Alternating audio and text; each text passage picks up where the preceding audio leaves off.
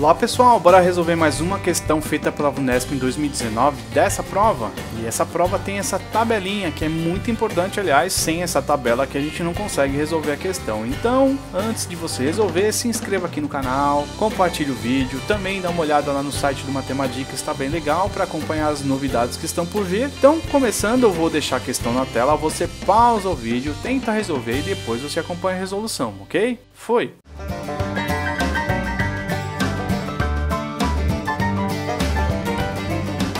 E aí, conseguiu resolver essa questão? Antes da gente resolver, vamos dar uma olhada nessa tabelinha aqui que está incompleta, tem alguns espaços em vazio, inclusive esse ponto de interrogação. Vamos ver. Então, ó, são itens, então tem pasta, pacote de sulfite, de papel sulfite, caixa de caneta e total de itens. Então quer dizer, a gente aqui é um somatório, né? Então total de itens, por exemplo, aqui, número inicial de unidades em estoque, número de unidades que saíram, número de unidades que permanecem. Ou seja, se a gente analisar, que a gente, que a gente tem que analisar como funciona essa tabela para resolver a questão, fica simples. E se você perceber algum detalhe, é com uma conta que a gente mata a questão. Essa questão foi muito legal porque assim, se você não entendeu, você acha complicada. Mas se você entendeu, você mata assim sem precisar fazer mais contas do que o normal.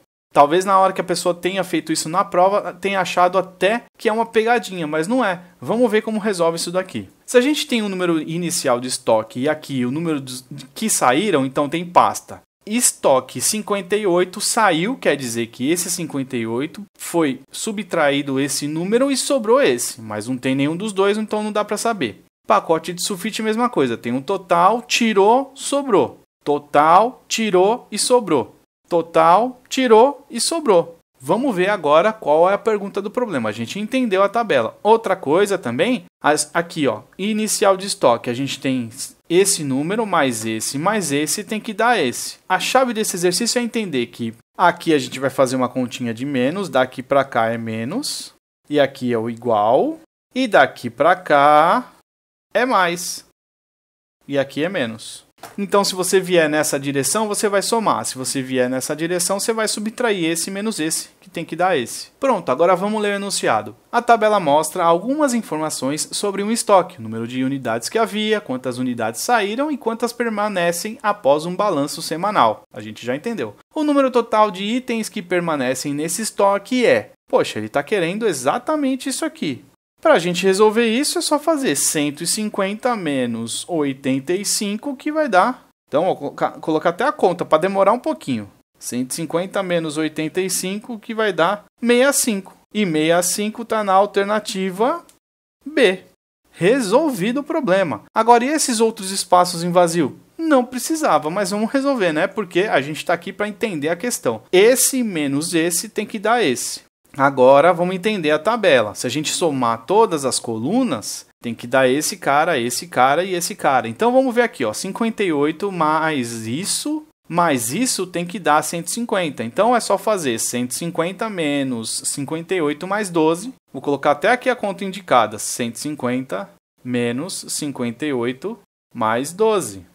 E aí vai dar um número aqui que é 80.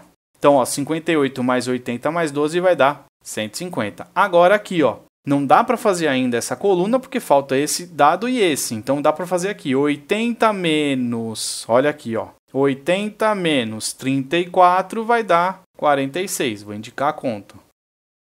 Agora a gente pode fazer esse aqui, ó. Então é 12 que tira quanto que sobra 7? Então é só fazer 12 menos 7, que aqui, ó. 12 menos 7, que vai dar 5. Então, ó, 12 tira 5, sobra 7. Daqui para cá a gente subtrai. Aqui, essa coluna inteira é a soma. Então, ó, 34 mais 5 mais alguma coisa vai dar 85. E a conta aqui em cima é 85 menos 34 mais 5, que vai dar 46.